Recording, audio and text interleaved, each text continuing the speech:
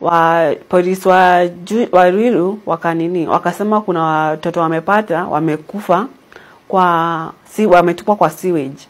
Waende waangalie. So my mom my sister my uncles wakaenda kuangalia. Kufika ndio walipatanga ni watoto wakanipigia simu kulikuanga saa moja. Wakanipigia simu.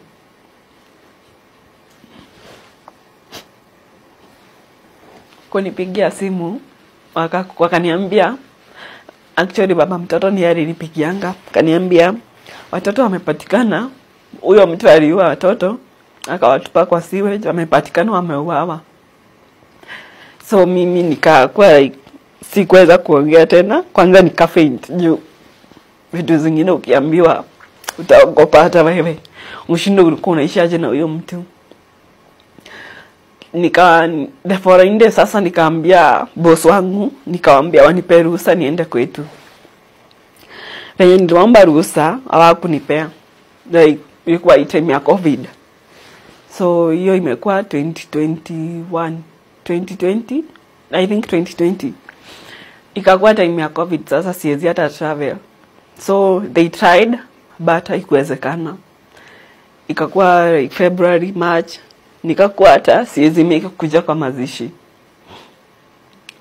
But saa watoto venye walizikwa after saa polisi venye waliwachukuanga kufanya investigation na nini za vitu zote ikakuwa like ni alionekana na, na watoto mara ya mwisho na ni aliwakujianga then they had to check through the phones. Kuangalia simu yake location yake ikakuwa like watoto penye walidisappear hapo ndipo simu yake ilikuwa mara ya mwisho waka nini waka akashikwa. So kushikwa akakuwa like bado haitikii. So watoto wakazikwa but aim yake haikuwa watoto. Aim yake ilikuanga kwa mimi ni venye alipatanga saa nimeenda. Saa after nime travel akakuwa like the only best revenge anaweza fanya ni hiyo. After ameshikwa akaulizwa kwa nini ulifanya hivyo? Akasema ati nakuanga na pesa yake pesa yake ndio alikuwa anataka. So akaulizwa pesa yako ni gani? Ulimpatia pesa ngapi? Akasema 70000 mi nikaulizwa ni pesa gani ulipewa na ukurudisha? Nikamwambia pesa gani? Mi hakuna pesa hii nipe hata bobe yake sijaikura akaniambia akaulizwa hakuna pesa. Akasema like ati so the money the 70000 ilikuwa ya zile date zote tumeienda kitu yote amenibaia so like i was like kwa nini nilikuwa nalipishwa kwenda date? So tukienda date mahali tukikula kitu akinunua anything ni kama alikuwa na list anaandika leo tumetumia 5000 leo tumetumia 500 hivyo so the 70000 ilikuwa ya pesa yenye tumetumia na yeye actually tumetumia na yeye. Na si pesa alinipatia mimi mwenyewe. Like it's the money we used akaulizwa mbona ukusema hivyo? Like watoto wanaweza toka nini? 70000 shwari. So wakaiongea. So akashikwa. Mi nikiwa huko bado nika sikuweza kukuja. So i was nilikuwa tunakaa for the five month actually it's half an year.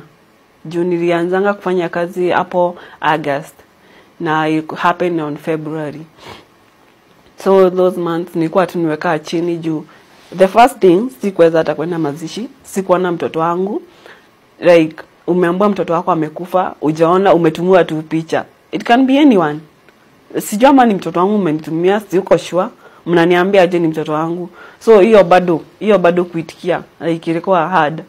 So before nirudi kazi tena imekuwa struggle.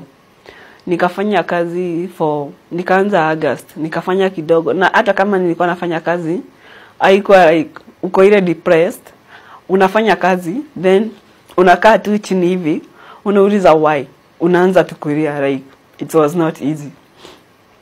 Nikafanya august september october november tukaenda 2021 sasa.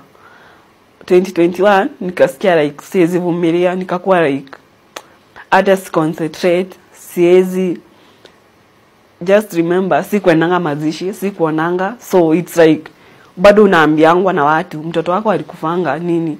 So wewe akili yako like ujaamini like una imagine uliacha mtoto akitembea vizuri but utaenda kuona kaburi. Wa polisi wa, wa Ruiru wakanini wakasema kuna watoto wamepata wamekufa kwa si wametupwa kwa sewage. Waende waangalie. So my mom my sister my uncles wakaenda kuangalia kufika ndio walipatanga ni watoto wakanipigia simu kulikwanga saa moja wakanipigia simu.